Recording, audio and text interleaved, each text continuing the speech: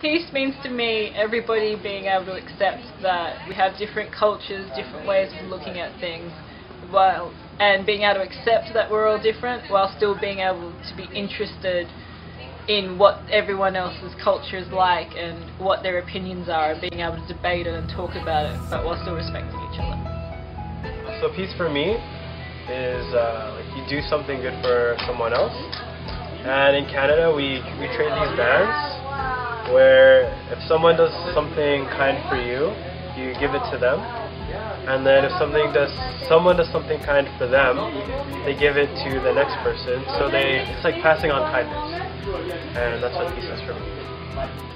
La paz va más allá de la ausencia de la violencia y creo que la paz podemos encontrarla con el entendimiento y la empatía para que así todos podamos entender las distintas culturas, las distintas maneras de ver la vida, de cómo actuar y así lograr un mejor lugar por donde vivir.